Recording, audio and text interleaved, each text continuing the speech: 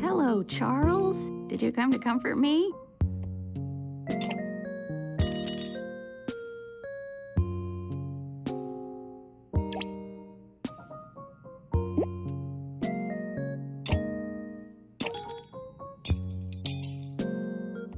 Charles is a bit guarded emotionally. You have to let him come to you.